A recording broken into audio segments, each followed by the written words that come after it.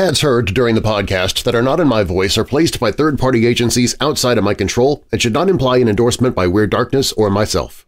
Stories and content in Weird Darkness can be disturbing for some listeners and is intended for mature audiences only. Parental discretion is strongly advised. Four days before H. H. Holmes' execution on May 7, 1896, the Chicago Chronicle published a lengthy diatribe condemning the multi-murderer, bigamist, seducer, resurrectionist, forger, thief, and general swindler as a man without parallel in the annals of crime. Among his many misdeeds, the newspaper reported, were suffocating victims in a vault, boiling a man in oil, and poisoning wealthy women in order to seize their fortunes. Holmes claimed to have killed at least 27 people, most of whom he had lured into a purpose-built murder castle, replete with secret passageways, trap doors, and soundproof torture rooms. According to the Crime Museum, an intricate system of chutes and elevators enabled Holmes to transport his victims' bodies to the Chicago building's basement, which was purportedly equipped with a dissecting table, stretching rack, and crematory. In the killer's own words, I was born with the devil in me. I could not help the fact that I was a murderer, no more than a poet can help the inspiration to sing.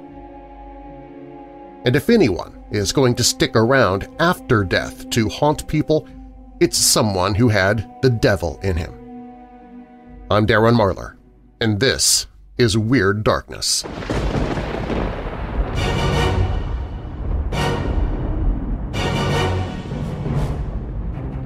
Welcome, Weirdos! I'm Darren Marlar, and this is Weird Darkness.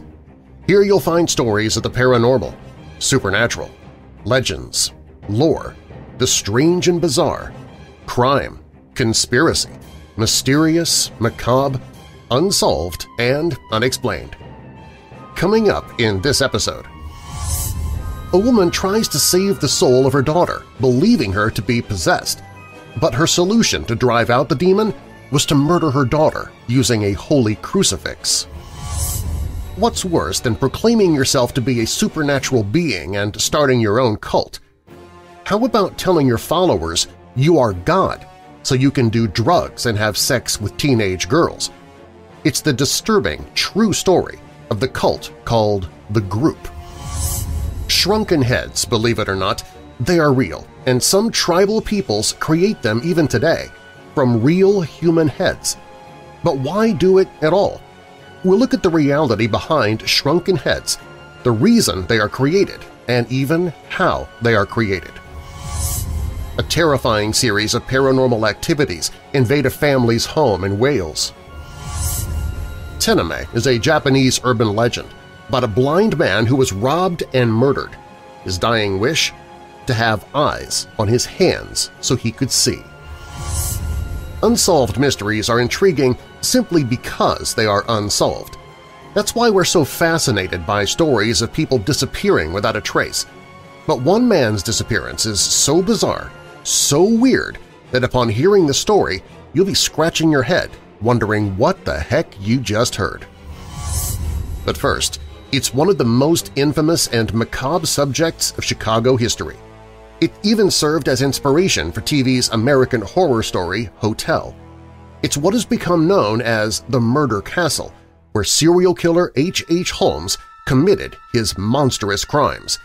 But even today, Holmes continues to terrify, in spectral form. We begin with that story. If you're new here, welcome to the show, and if you're already a member of this weirdo family, please take a moment and invite someone else to listen. Recommending Weird Darkness to others helps make it possible for me to keep doing the show. And while you're listening, be sure to check out WeirdDarkness.com where you can send in your own personal paranormal stories, watch horror hosts present old, scary movies 24-7, see weird news items, listen to the Weird Darkness syndicated radio show, shop for Weird Darkness and Weirdo merchandise, listen to free audiobooks that I've narrated, sign up for the newsletter to win free stuff I give away every month, and more. And on the social contact page, you can find the show on Facebook and Twitter, and you can also join the Weird Darkness Weirdos Facebook group. Now, bolt your doors, lock your windows, turn off your lights, and come with me into the Weird Darkness.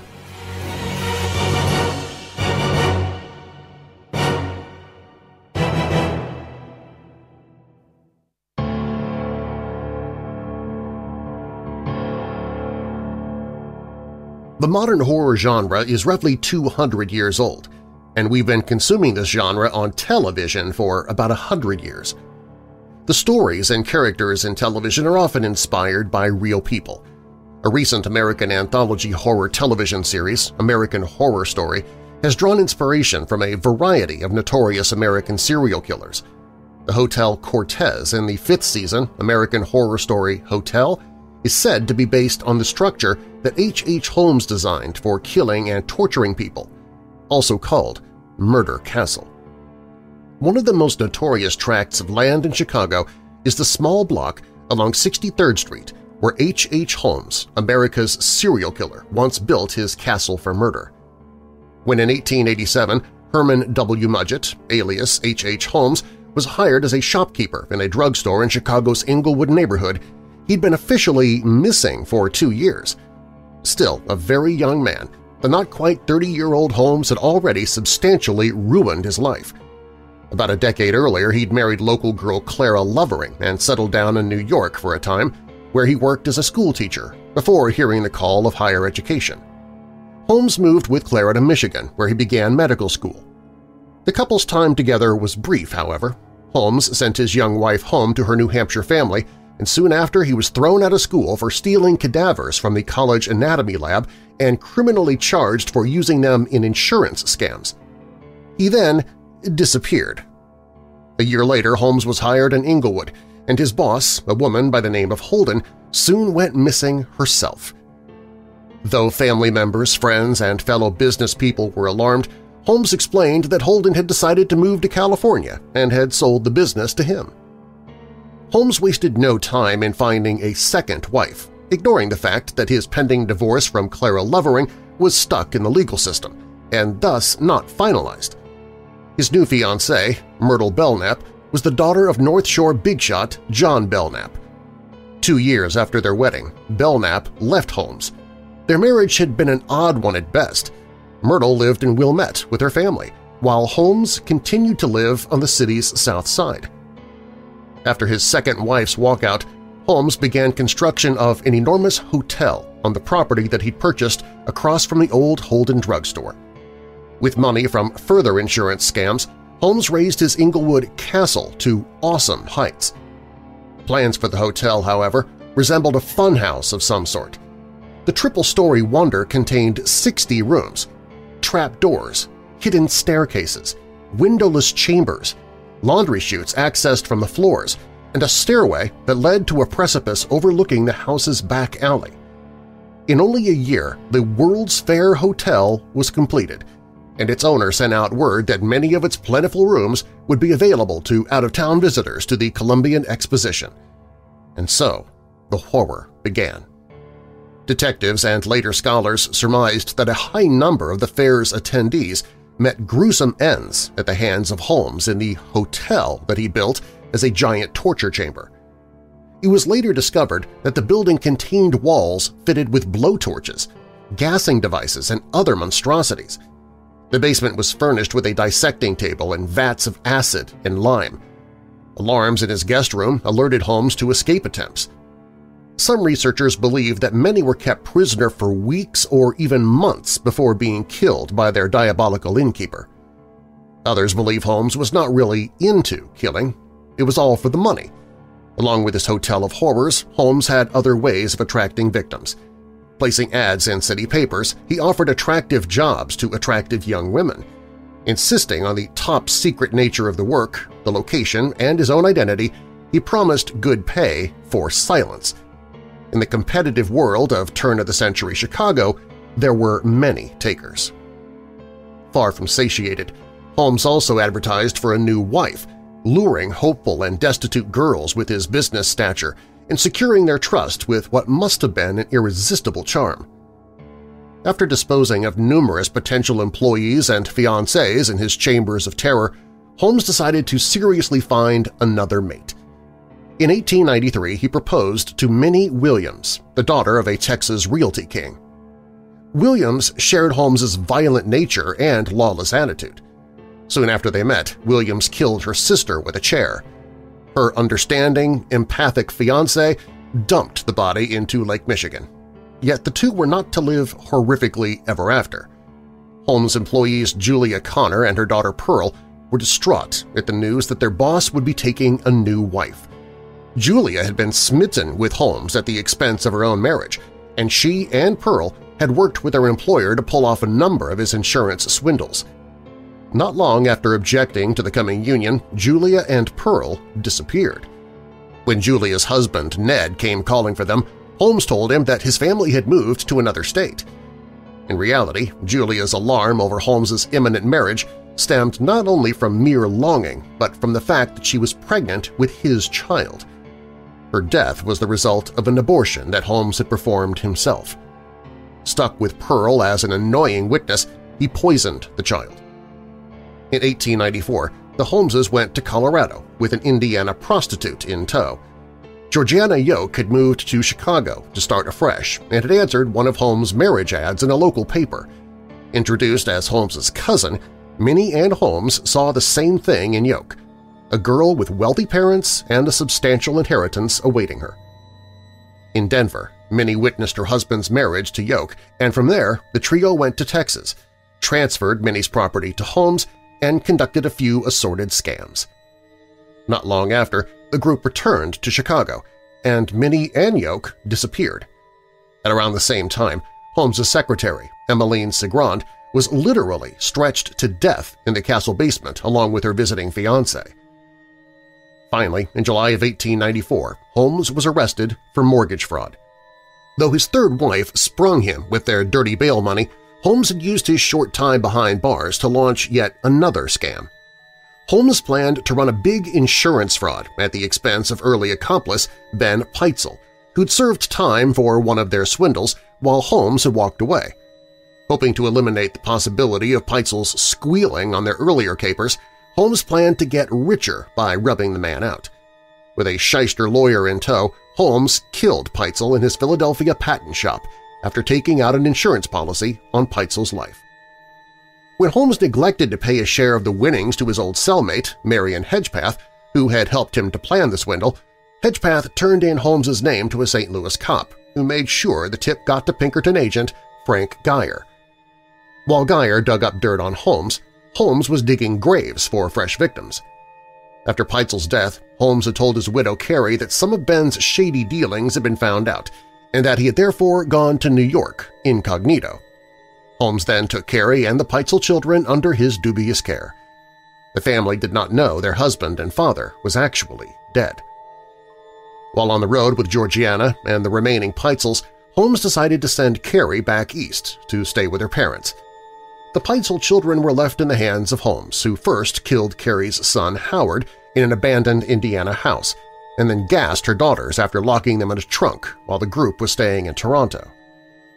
Next, Holmes returned to his wife Clara, and after explaining that he had had amnesia and mistakenly married another woman, was somehow forgiven.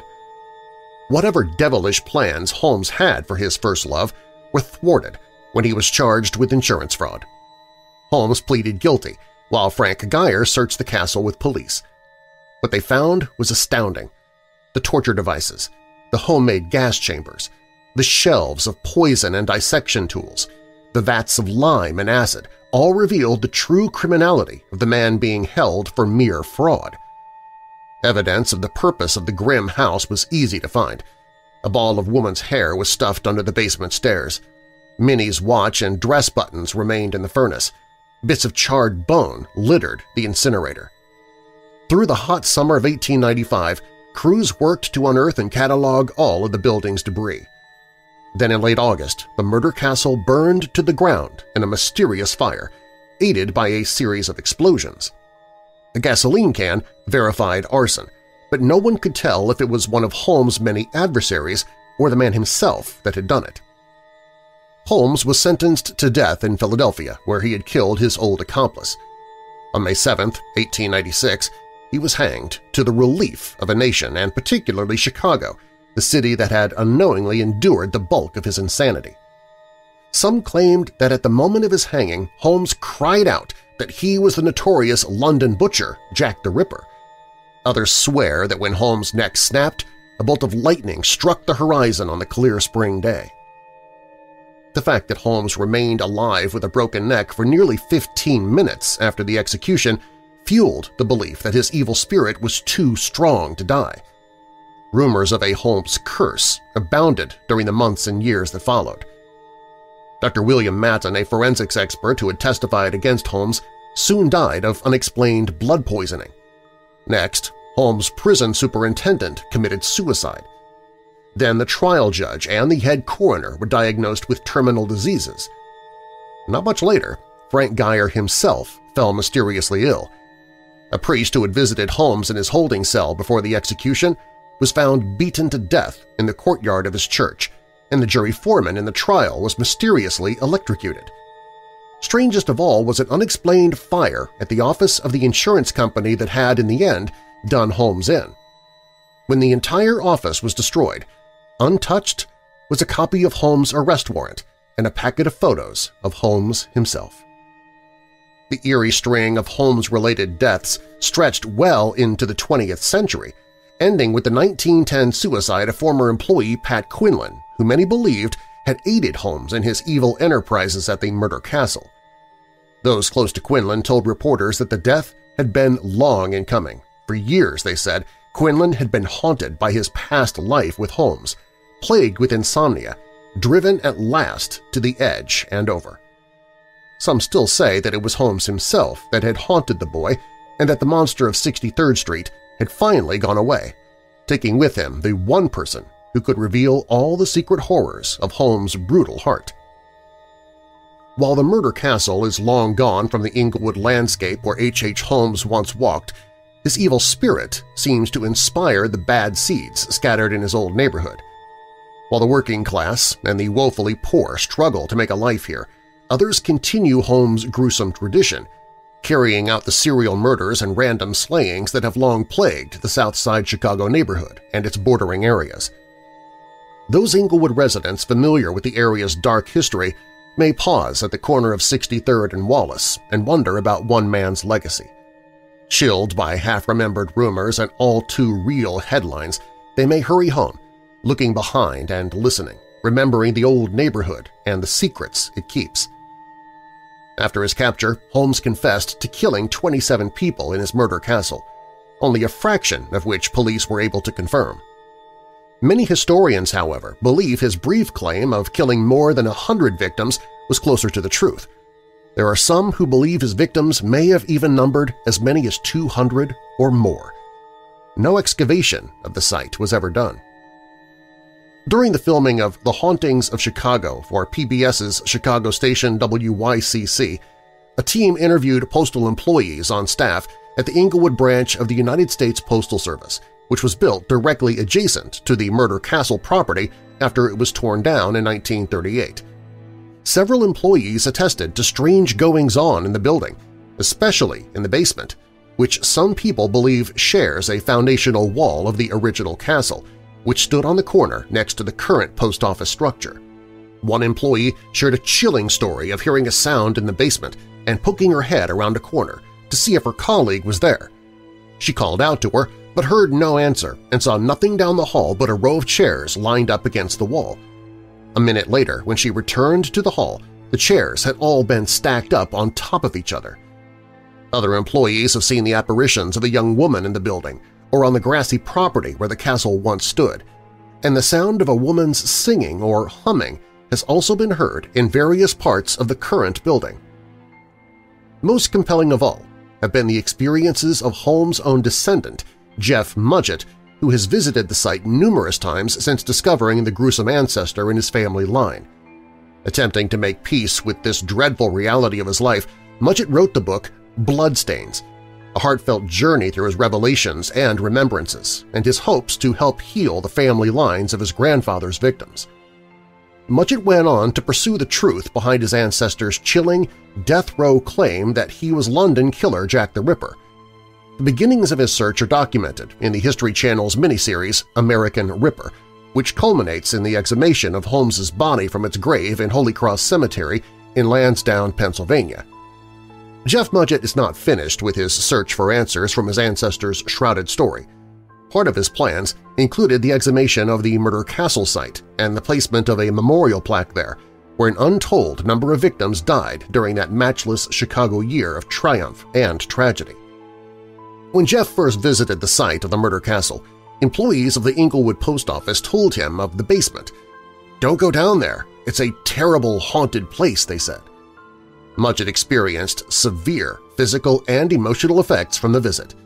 He says, Before I walked down those steps, I was a non-believer, absolutely none. I would have walked into any building in the world. An hour later, when I came out, my whole foundation had changed. I was a believer.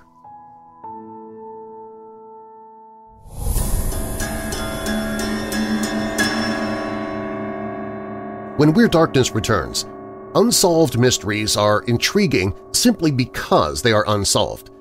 That's why we are so fascinated by stories of people disappearing without a trace. But one man's disappearance is so bizarre, so weird, that upon hearing the story, you'll be scratching your head, wondering what the heck you just heard. But first, Tenome is a Japanese urban legend about a blind man who was robbed and murdered. His dying wish? To have his eyes on his hands so he could see. That story is up next.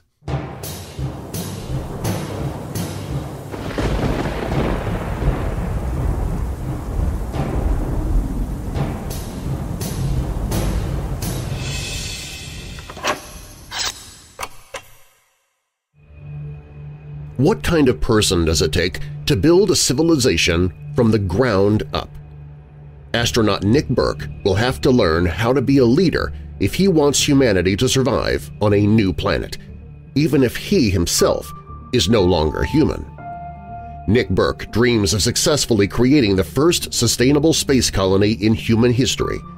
After a third failed mission on Mars, Nick returns to Earth heartbroken. But during the trip home, he has an epiphany caused by a near-death experience on how to truly accomplish his dream.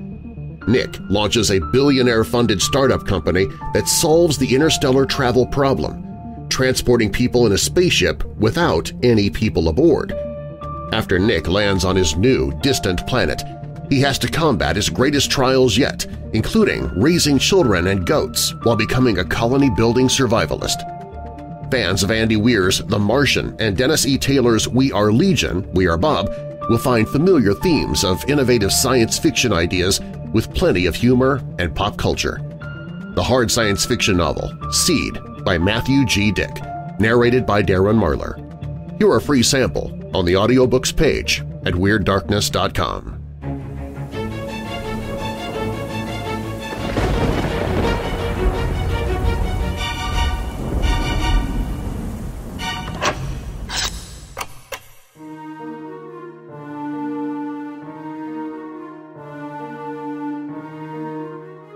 There was once a blind old man, and one night he was viciously attacked by a band of robbers.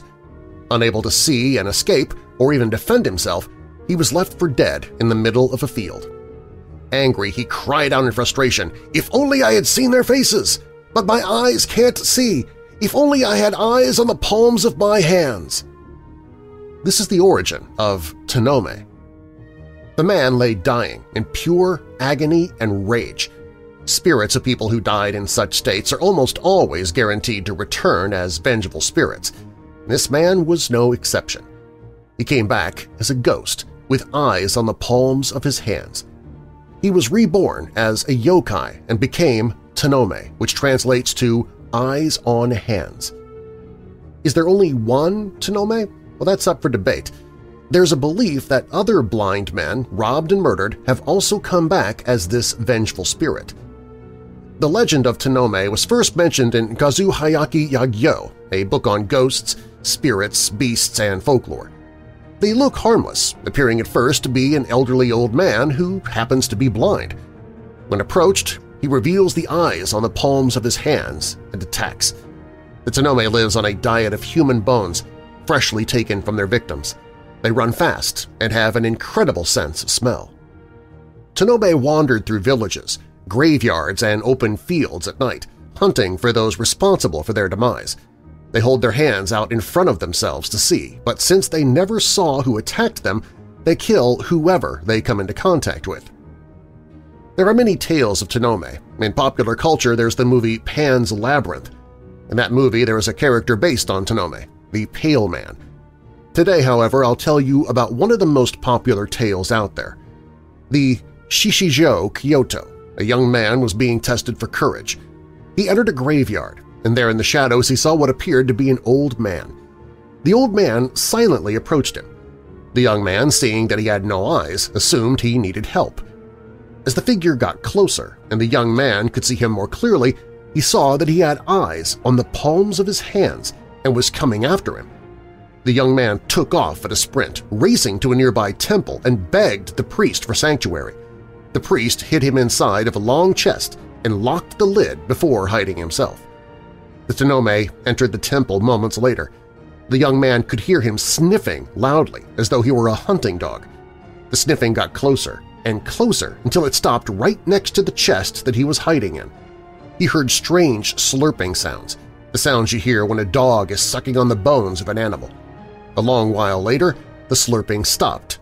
All sounds vanished. The priest unlocked and opened the chest to let the young man out. He was not at all prepared for what he saw. Inside the chest lay the young man. However, he was nothing more now than a sack of flesh. His meat and bones were gone, having been sucked out of his body.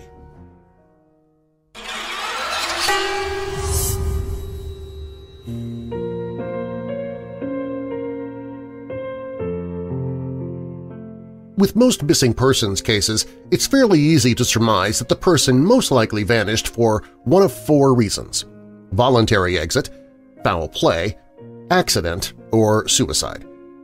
What makes this following disappearance unusual is that it contains a number of confusing, contradictory clues that suggest that any of those four categories is possible. In short, not only do we not know what happened to Hisashi Fujimura, it is impossible to say how he disappeared. Fujimura was a high-living playboy of the type that seems somehow quaintly out of date these days.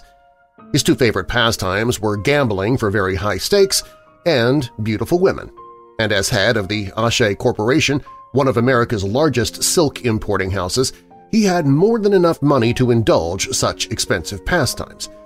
His wife, a reclusive woman who spoke very little English, was reportedly unaware of his extracurricular activities.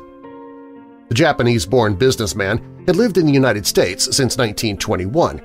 He owned a 50-acre estate in Connecticut where his wife and four children lived, as well as another mansion in Rye, New York, and an apartment in New York City. He was a charming, suave, outgoing man who seemed to have been generally well-liked. On August 8, 1931, the 38-year-old Fujimura set out on a six-day pleasure cruise across the Red Star liner Belgenland. Accompanying him was his seven-year-old daughter Toshika and a pretty young blonde named Mary Reisner, who had been, to put it discreetly, Fujimura's close companion for the past year. Reisner, who was a showgirl before becoming Fujimura's protege, was listed on the ship's registry as Miss Dale, governess, a cover story that apparently fooled nobody. This cruise was prefaced by a decidedly ominous note. The day before he set sail, Fujimura paid a call on a friend, a plastic surgeon named Joseph Softon. Fujimura commented, You know, doctor, I fear I may never come back from this trip. After Softon sputtered some words of disbelief, the silk merchant replied, I mean it. I own quite a lot of money to some gamblers, and I've learned that they're going to follow me aboard the Belgenland. Reisner later stated that when they went aboard the ship, Fujimura begged her not to let him out of her sight, because there was a certain man aboard, he said. If he truly felt himself to be in such danger, though, it's a mystery why he didn't cancel the voyage and make himself as invisible as possible. Aboard the ship, Fujimura and his daughter occupied stateroom number 62, while Reisner stayed in number 60, which connected with 62. There are conflicting reports of how Fujimura and his governess got on during the cruise. As far as most of the passengers could tell, the pair seemed happy together. However, an artist named Jan Ribas, who occupied the room next to Reisner's, claimed that he frequently overheard them quarreling. The Belgenland touched briefly at Halifax, then began the journey back to New York. The trip to date had appeared uneventful. On the night of August 13th, there was a large party thrown on the lighter. Fujimura did not attend. At around 1 a.m., Reisner left his company to join the merrymaking. The ship's captain, J.H. Doughty, saw him at about 2.45 a.m., standing in a small side corridor leading toward his stateroom. Doughty heard him talking to someone, but in such low tones he could not hear what was being said. He also could not see who Fujimura was speaking to. The party broke up at 4 a.m.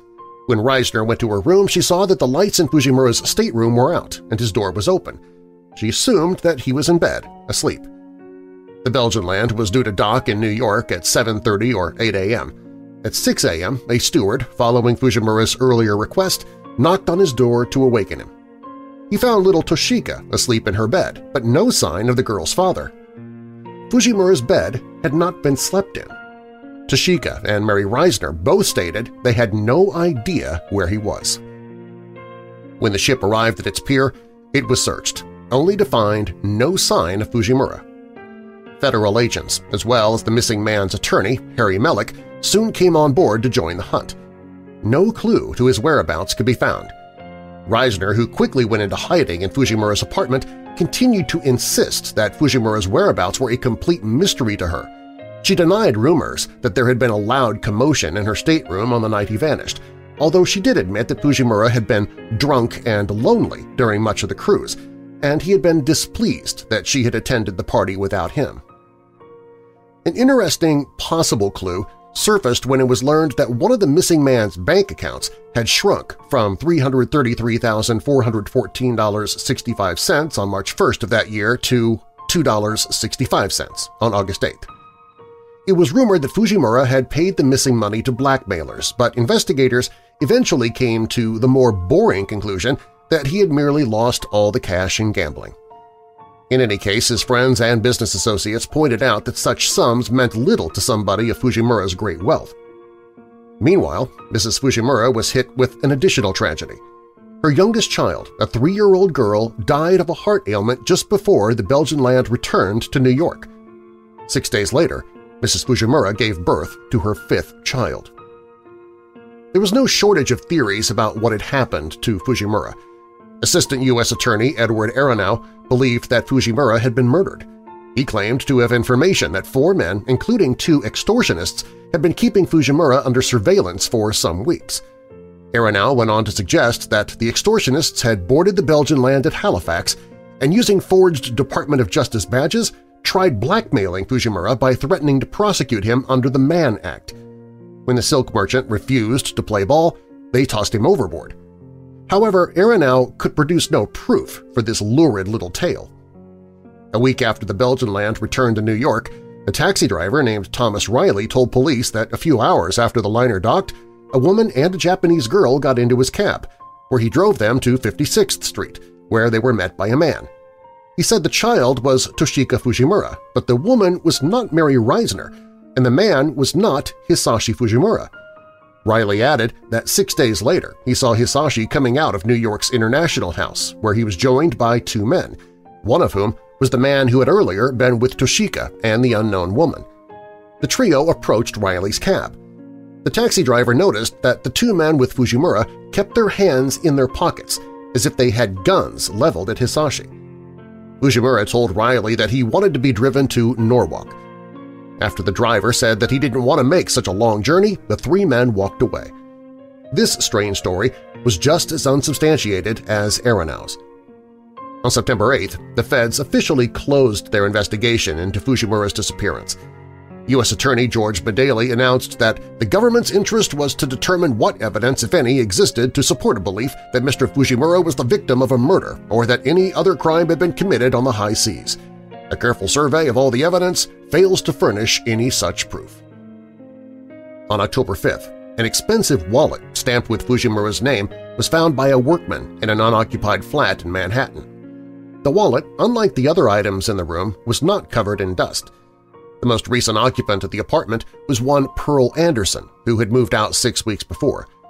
Authorities failed to find Anderson. Police learned the wallet had been given by Fujimura's company at a banquet two years before. The missing man had never used it, just tossed it aside with the rest of his effects, so no one could say how it wound up in a Manhattan flat. This initially intriguing clue, like everything else surrounding this case, went nowhere.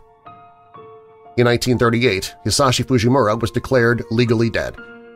We'll likely never know if he disappeared as a result of foul play, suicide, an accidental fall over the side of the ship, or simply a desire to disappear and start a new life. Our little mystery ended on a suitably enigmatic note. On December 3rd, Fujimura's wife and children returned to Japan for good. Before Mrs. Fujimura left New York, reporters asked her if she had anything to say about her husband's disappearance. She did not.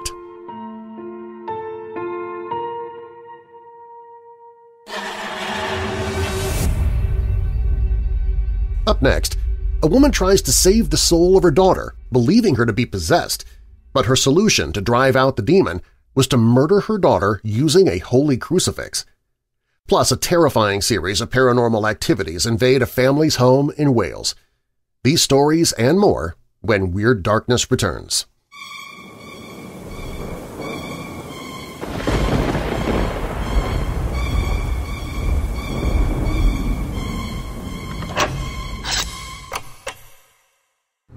Sometimes you feel a bit nutty, especially if you're a weirdo. If that feeling transfers to your taste buds as well, I've got some great news for you. Weird Dark Roast Nutty Mummy Coffee. Wrap your taste buds around this medium dark roast blend with shrouds of almond, honey, and chocolate. Each bag of Nutty Mummy is exclusive to Weird Darkness and is roasted to order, then bandaged, I mean bagged specifically for you to ensure maximum freshness for you, your mummy, and anyone else you share it with. Entomb your old coffee coffee and bring your taste buds back from the dead with Weird Dark Roast Nutty Mummy at WeirdDarkness.com slash coffee. That's WeirdDarkness.com slash coffee.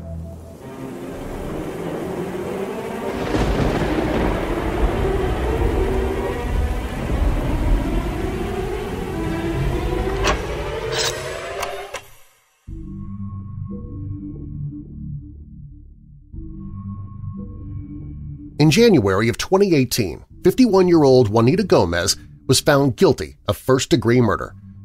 In August of 2016, she brutally killed her 33-year-old daughter Geneva Gomez in Oklahoma City. While there are a number of mothers who have murdered their children, this case has a religious aspect that makes it pretty eerie. Juanita Gomez killed her daughter by shoving a crucifix down her daughter's throat because she believed that her daughter was possessed by Satan. The two got into a violent struggle that Juanita claimed was her attempt at an exorcism. It was so brutal that Geneva died from blunt force trauma caused when Juanita repeatedly punched her. Juanita claims that she was exorcising Geneva, but prosecutors believe she was simply attempting to establish an insanity plea. Juanita watched her daughter bleed from the mouth and die, and she showed little remorse for her crimes. These grisly facts surrounding Geneva Gomez's murder are sure to make you cringe. Geneva's death was, of course, brutal. Juanita punched Geneva repeatedly, then shoved a religious medallion and crucifix down her daughter's throat until she began to bleed from her mouth. She was so badly beaten that her ex-boyfriend, Francisco Merlos, didn't recognize her when he saw the body. Juanita's probable cause affidavit notes how the officers found Geneva's body that day. Officers arrived and found victim Geneva Gomez lying in the home with a large cross-slash-crucifix upon her chest. Blood was visible, and she had suffered severe trauma around her head and face. Juanita told authorities that she attempted to clean Geneva's body after her death, as well as the room where Geneva's murder took place. She then positioned her dead daughter's body in the shape of a cross on the floor and placed a wooden crucifix over her chest. The assistant district attorney speculates that Juanita purposefully used the religious symbols to make somebody think perhaps she had a mental illness or was insane. When police arrived at the scene of the crime, they immediately observed signs of a physical struggle. Officers noted that Juanita's hands were swollen, her arms were covered in bruises, which she explained were from her daughter's attempts to fight off her exorcism. Juanita Gomez's probable cause affidavit reads, Juanita stated these bruises were from her daughter fighting her attempts to rid Satan from her daughter's body.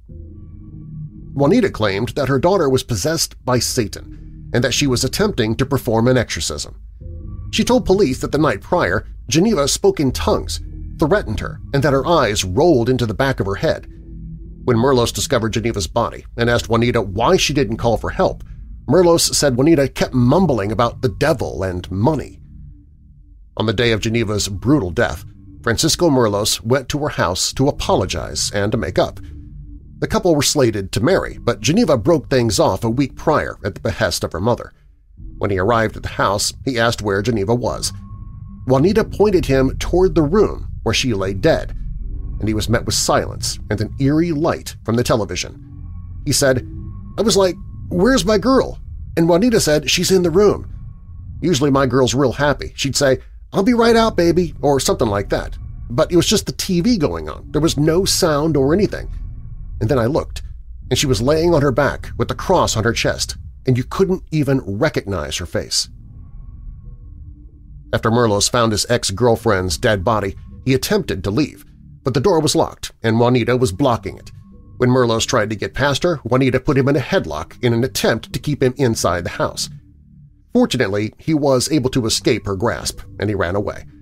Merlos called 911 and waited for police to arrive. One of the most chilling aspects of this crime is that Juanita Gomez never seemed distraught or even repentant of her crime.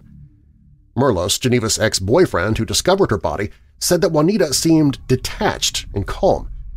At her first arraignment, Juanita didn't show any signs of regret and instead complained about a lack of toilet paper in her jail cell. While on the witness stand, the homicide detective who investigated the crime noted that Gomez was unnervingly calm and collected. Juanita only wept as she was taken from the court back to the county jail. In the early phases of Juanita Gomez's defense, her team attempted to plead insanity. She was scrutinized by a forensic psychologist who easily saw through her ruse. They noted that Gomez was grossly feigning memory problems to appear incompetent. Her defense team quickly dropped the insanity plea and instead pleaded not guilty to first-degree murder with the reasoning that Juanita didn't intend to kill Geneva. Neighbors and friends close to the Gomez mother and daughter recalled that the two of them were inseparable they worked together as massage therapists and often went to the beauty salon together to get their hair and nails done at the same time. Geneva's ex-boyfriend described the pair as being as close as sisters. Their bond made the crime even more shocking to those who knew them. Although Juanita Gomez's trial lasted three hours, it only took the jury 20 minutes to come to their conclusion. Not only did they find Gomez guilty in the murder of her daughter, they explicitly recommended that she receive a life sentence without the possibility of parole. The judge who presided over the case agreed. Oklahoma City Assistant District Attorney Suzanne Levenue said, We think it was a just verdict. It was an incredibly heinous murder. The victim suffered quite a bit before her life was ended. The crime scene was horrific. It was obvious that there had been an extensive struggle all over the house.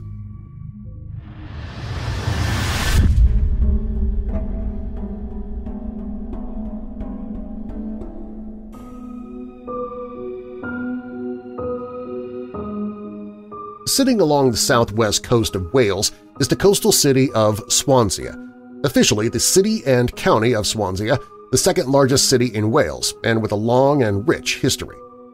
In 1965, 22-year-old Marcia Howells, her husband David, their three-year-old daughter Beverly, and one-year-old son Gareth, and Marcia's grandmother Glendora moved here into an unassuming little home on Rhondda Street. It was just one of many other similar houses in the area, and there seemed to be nothing particularly special about it. It was the kind of home one could walk right on by without ever noticing it. But it would soon prove to be no normal home, as a series of terrifying supernatural events began to unfold. It started just three days after they moved in, when Marcia and her husband were woken at night by a pressing sensation on their throats, as if something were lightly choking them. David at first thought there was a gas leak somewhere, but an inspection of the house turned up nothing out of the ordinary. They would both experience this for several nights, yet could find no rational explanation for it. After this, they noticed strange things around the house, like items turning up where they had no business being, doors that were locked when no one had locked them, sometimes locked from the inside of a room with no one in the room. Doors and windows would also be found open after being closed, and it was all very eerie, but not particularly frightening at this point. However, that would soon change one day, as Marcia was at home with her two children while Dave was at work.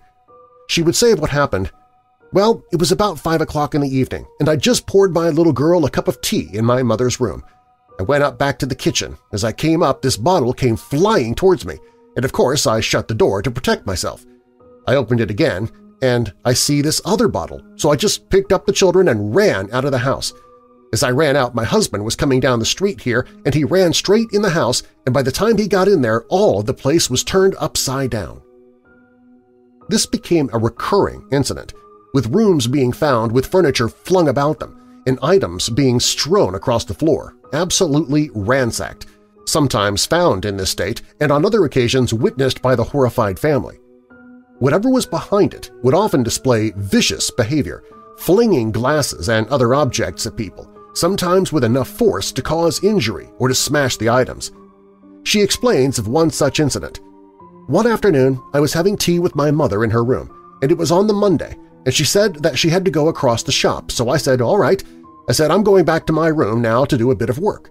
So as I went out, the children came down the passage behind me, and I opened the door of my room and I seen a bottle rise off the mantelpiece.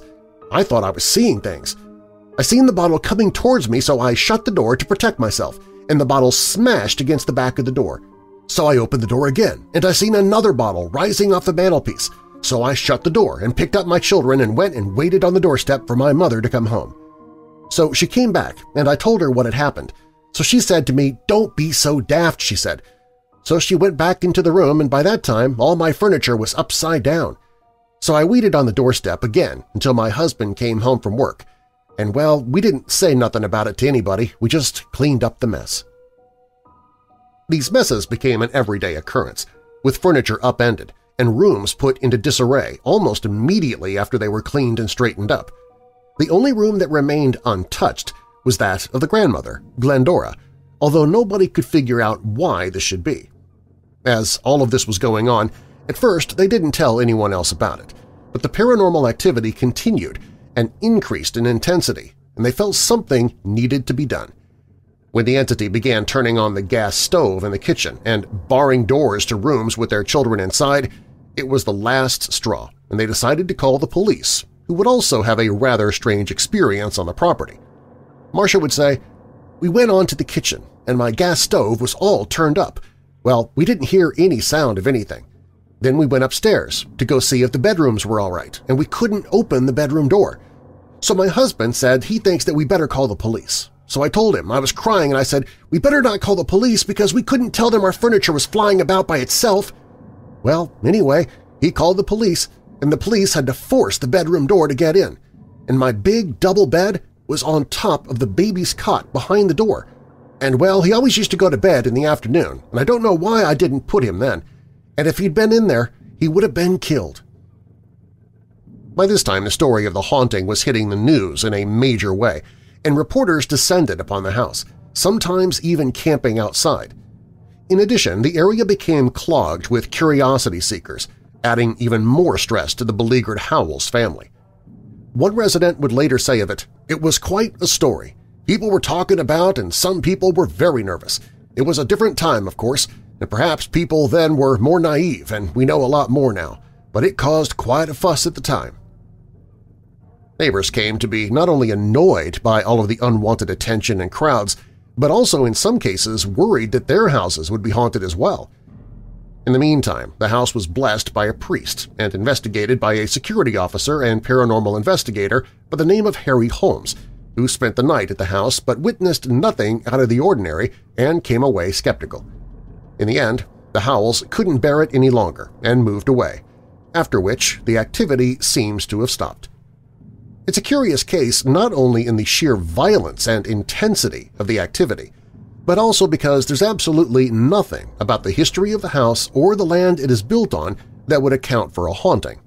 No tragedies, no murders or catastrophes, nothing, and none of the neighbors had any problems.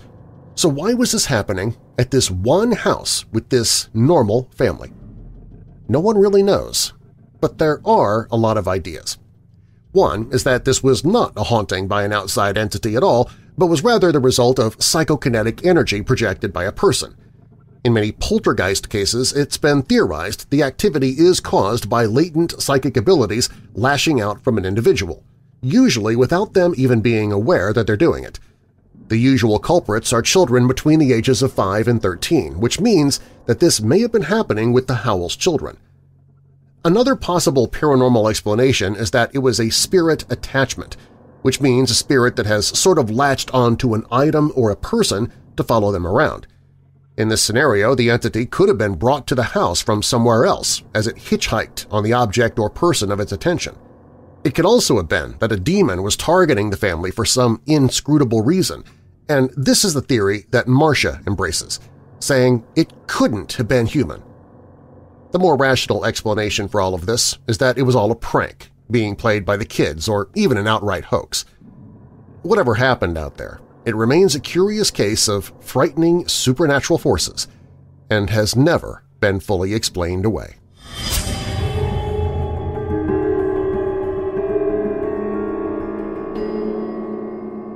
Up next on Weird Darkness, Shrunken Heads.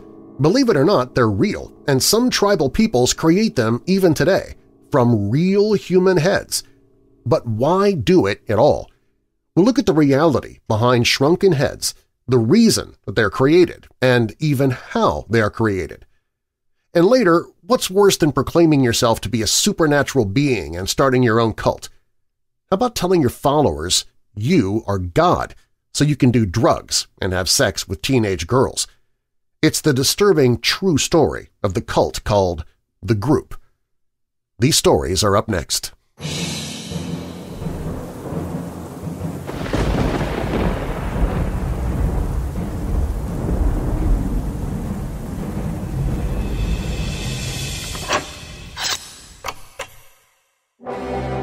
Our next Weirdo Watch Party is Saturday, April 13th. Are all the men gathered?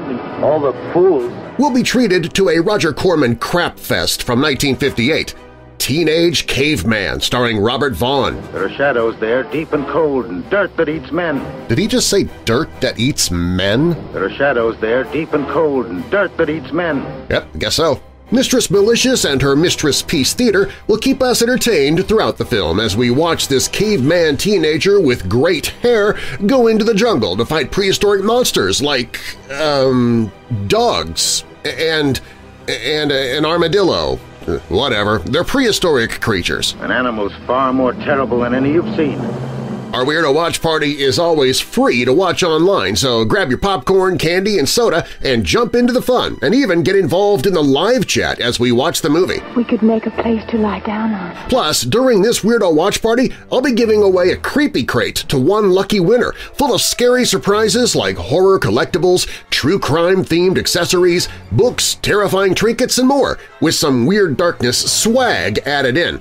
You won't know what's in the creepy crate until you open it. Strengthening his courage, his daring, his dreams. And I'll be giving instructions on how to win the creepy crate inside the chat during the movie, so you have to tune in to win. It's Teenage Caveman, Saturday, April 13th, hosted by Mistress Peace Theater. See the awe-inspiring beasts in a teenage caveman's world.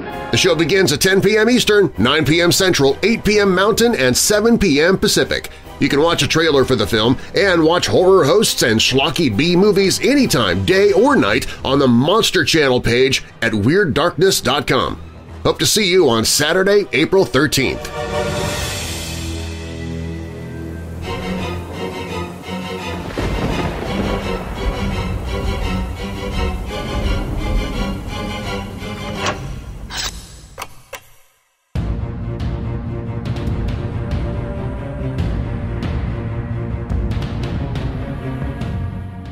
When you peel away the layers of normalcy and practicality, this world is actually shrouded in an air of mystery and magic.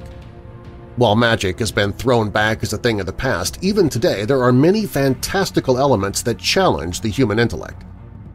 Just as normalcy and practicality exist in this world of ours, so do weird, incredible things.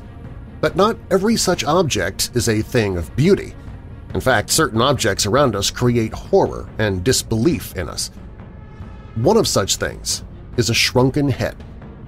Shrunken heads have existed around us for years, and even today certain native tribes continue this ghoulish practice.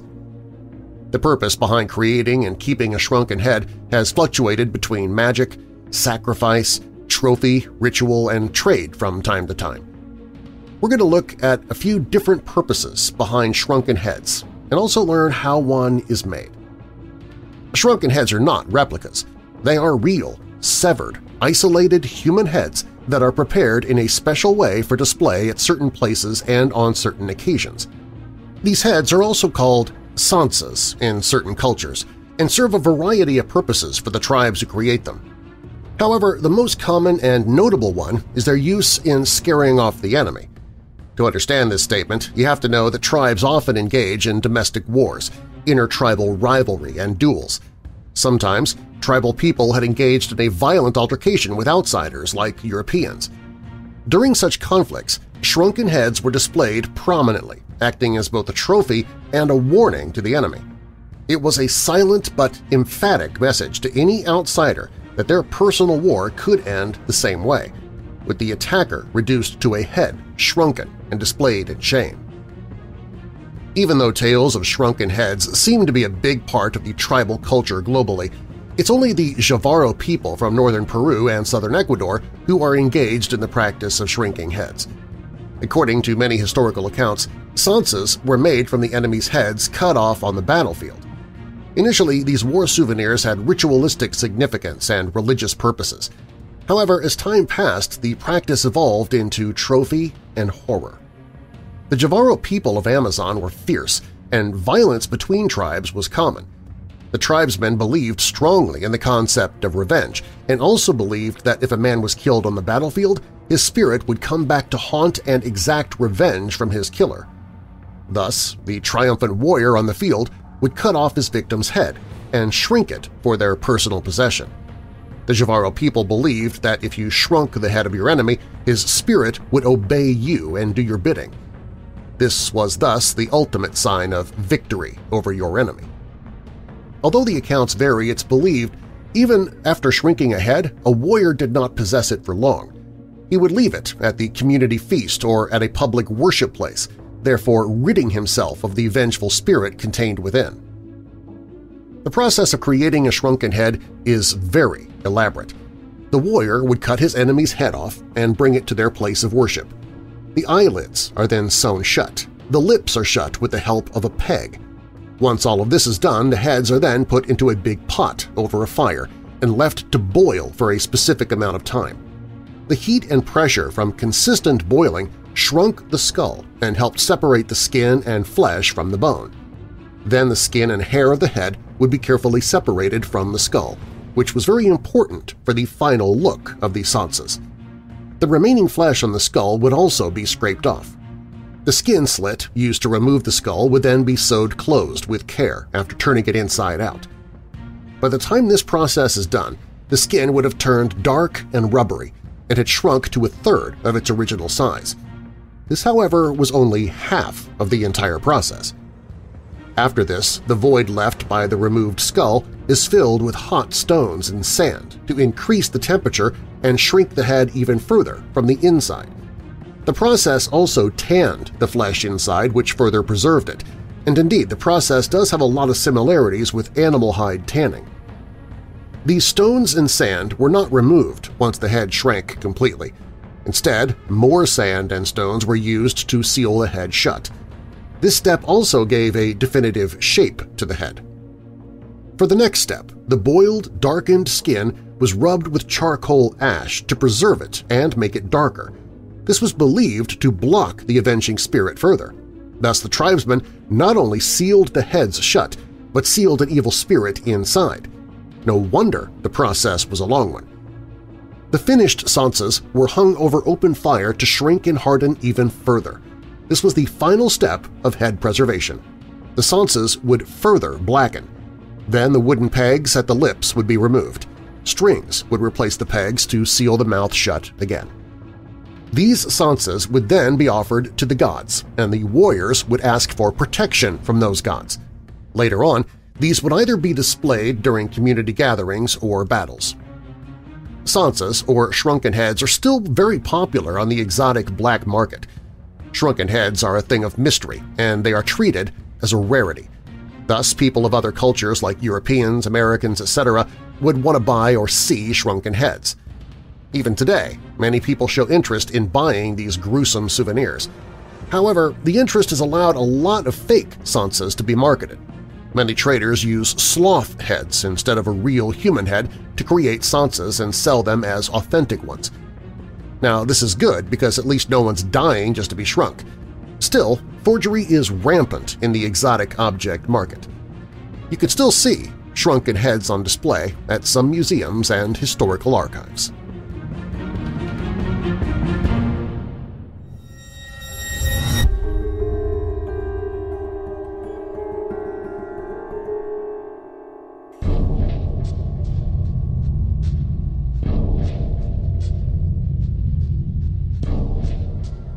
In the 1940s, Theodore Rinaldo could have been considered your average Catholic kid living in New York. But his life took a dark turn in 1969 when he moved to Seattle to start The Group, a drug cult who believed Rinaldo was God. Soon after he started Eden Farms, a compound where he abused his followers in vile ways, from threats to sexual assault of minors, the abusive cult leaders of the group violated several people. What happened to the cult called the group? After an intrepid journalist uncovered what was really happening at the compound, he revealed Theodore Rinaldo's cult crime. Facts about the group shook the surrounding community. The truth of what really happened at Eden Farms put a sick man behind bars. Thankfully, it's not a cult still active today, as Rinaldo was put behind bars in 1979.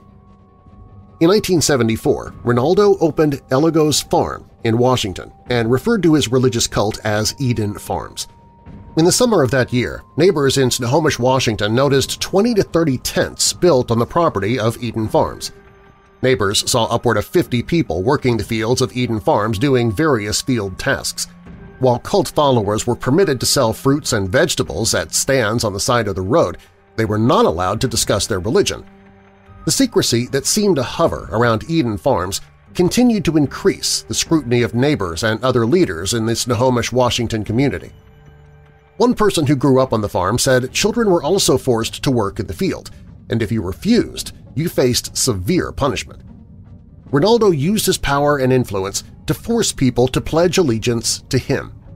He also had inappropriate and illegal sexual relationships with underage girls, he also threatened to physically harm people who said that they wanted to leave, and crippled people financially, so even if they could escape, they couldn't get very far. He told the group that he was Michael the Archangel and he planned to take them to Alabama to ride out the end of the world.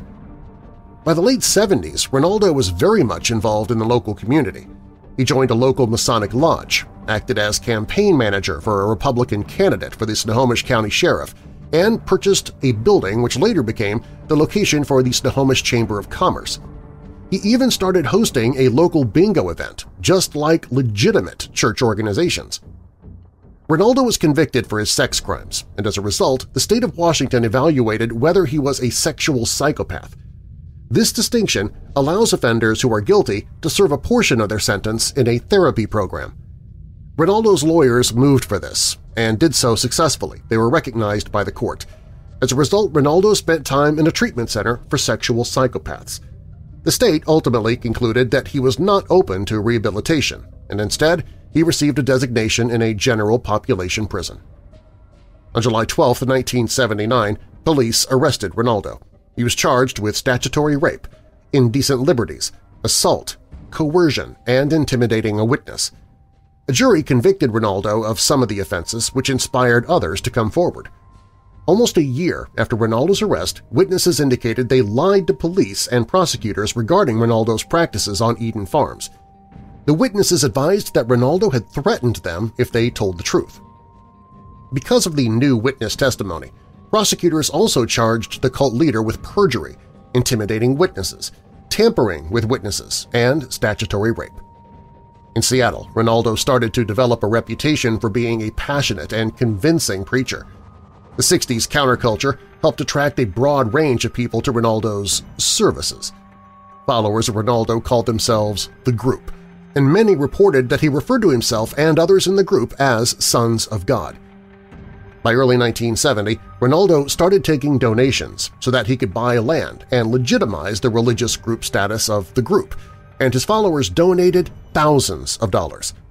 By this time, the con man preacher was well on his way to becoming a cult leader. Local journalist G. Larson started noticing the strange new group and decided to take another look in 1979.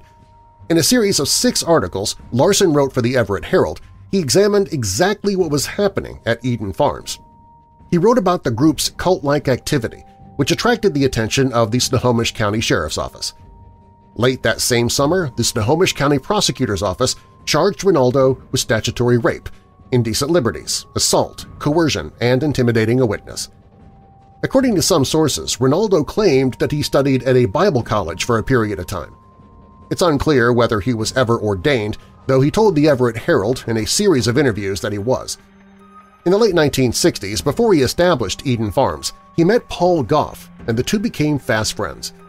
They ended up moving to Seattle together to start a ministry and began holding religious meetings inside their homes. Rinaldo filed a number of appeals after his conviction. His main target? Larson's reporting. His legal team went after Larson's confidential sources who tipped him off to the activity on the farm. However, after many appeals and a short stint in an institution for sexual psychopaths, Rinaldo exhausted his efforts and remained incarcerated. A judge did, however, rule Larson had to turn over some of his reporting materials over to the criminal defendant, a move that sent a ripple effect through the journalism community. By 1971, with the help of his cult followers' donation, Rinaldo started a nonprofit called Elagos, which means God in Hebrew.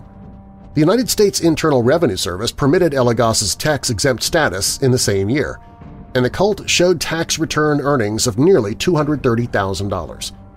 By 1973, Elagos had purchased almost 80 acres of land in Snohomish, Washington. Rinaldo's group was starting to look like a legitimate religious organization and would soon begin to gain the attention of journalists and law enforcement.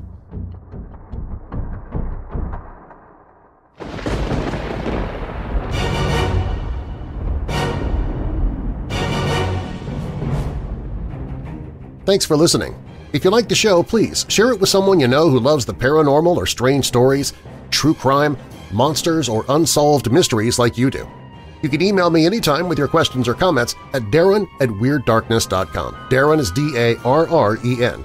And you can find the show on Facebook and Twitter, including the show's Weirdos Facebook group on the Contact social page at WeirdDarkness.com. Also on the website, you can find free audiobooks that I've narrated, Watch old horror movies with horror hosts at all times of the day for free. Sign up for the newsletter to win free prizes. Grab your Weird Darkness and Weirdo merchandise. Plus, if you have a true paranormal or creepy tale to tell, you can click on Tell Your Story.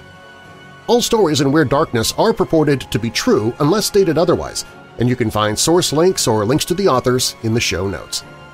Murder by Crucifix is by Inigo Gonzalez for Ranker's Graveyard Shift. The Swansea Entity is from Brent Swancer for Mysterious Universe. The Strangest Disappearance at Sea in History is from Strange Company. The Seeing Hands of Tenome is from The Scare Chamber. The History and How of Shrunken Heads is by Bipin Dimri for Historic Mysteries. H. H. Holmes' Hellish Hotel and Lingering Haunting is from Chicago Hauntings. And Theodore Rinaldo, the Drug Cult Rapist, is by Matthew Lavelle for Ranker's Unspeakable Times. Again, you can find links to all of these stories in the show notes. Weird Darkness is a production and trademark of Marlar House Productions. Copyright Weird Darkness. And now that we're coming out of the dark, I'll leave you with a little light. John 10 verse 10. The thief comes only to steal and kill and destroy. I have come that they may have life and have it to the full. And a final thought from Claudia Mitchell. Your gifts and determination may dictate your potential, but it is your character that will determine your legacy. I'm Darren Marlar. Thanks for joining me in the Weird Darkness.